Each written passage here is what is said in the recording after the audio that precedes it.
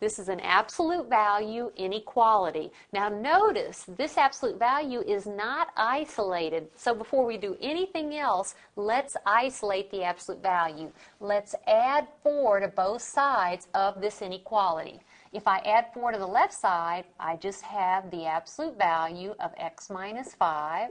If I add 4 to the right side, I have negative 2 plus 4 or 2.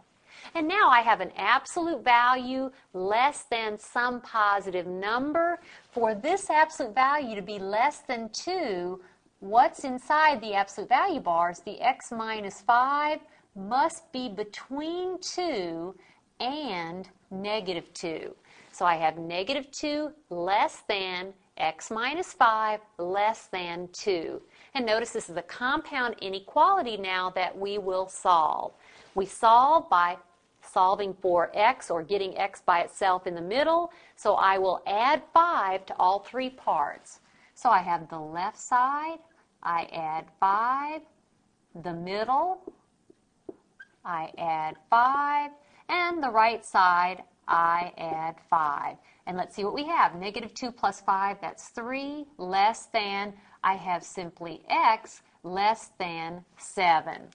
I have solved all numbers between 3 and 7 are solutions to our original inequality.